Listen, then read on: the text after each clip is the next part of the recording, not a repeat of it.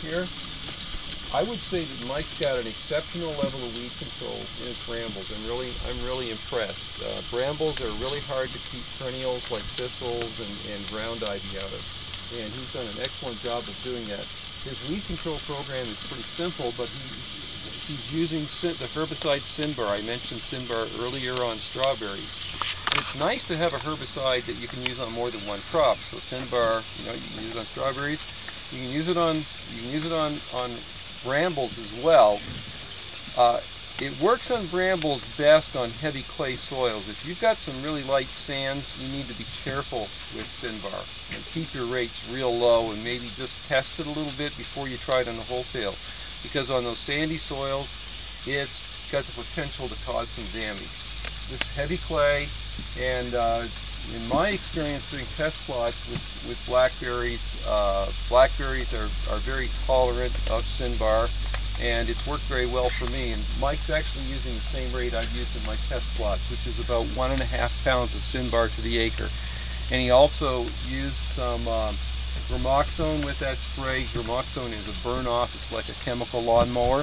It doesn't kill the root of many things, but it burns the top off. And he did this real early in April, late March, before there was any growth.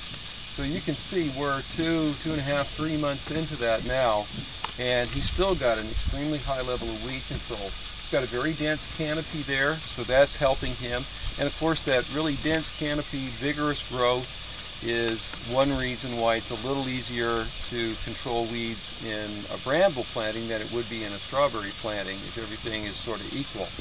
But I think the most important thing that Mike has done there, and I'm going to wrap up with this, is that he's planted his both of these crops into a field that he's prepared well before planting. So he's gotten rid of the perennial weeds. Perennials like thistle, you know, the, if you look at this, it's got a six inch sprout on it. This is really not a root, this is a shoot.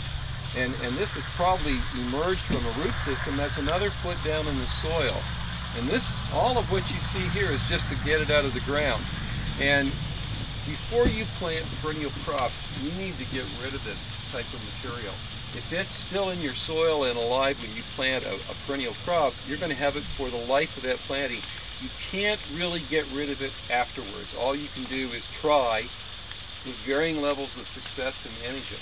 So you need to get the site prepared properly and uh, you know it's almost too much for us to talk about today, but certainly you know spraying the field the year before you plant with, with Roundup, doing some pretty intensive tillage and maybe some cover cropping to help get it ready. All of those things can contribute to having a more successful venture.